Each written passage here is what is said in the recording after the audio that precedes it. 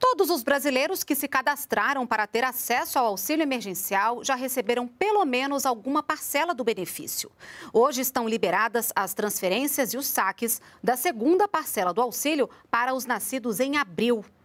E quem teve o pedido negado vai poder contar com uma nova ajuda para refazer o cadastro.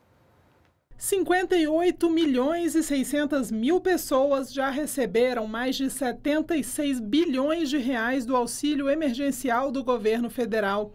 Até o momento, as movimentações de saques e cartão virtual em contas sociais já somam mais de 1 milhão e 600 mil transações.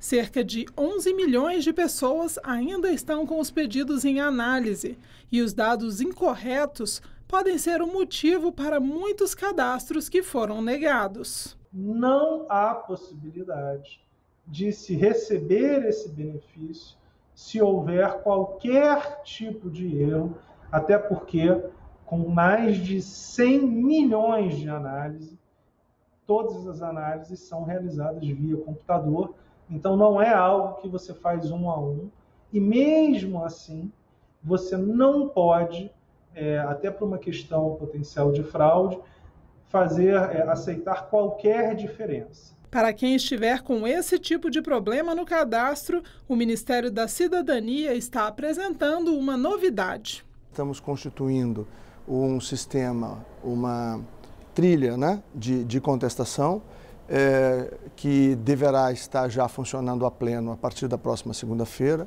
através do telefone 121 do Ministério da Cidadania ou é, através do site e nós estamos ajustando e deveremos estar com o contrato assinado com os Correios na sexta-feira para permitir que já na segunda-feira as agências do Correio possam atender, principalmente aqueles mais vulneráveis, aqueles que têm mais dificuldade, para ou fazer o cadastro, ou para refazer o seu cadastro, ou para solucionar dúvidas e direcionar para essa esteira de contestações. Por que, que isso, isso gratuitamente também?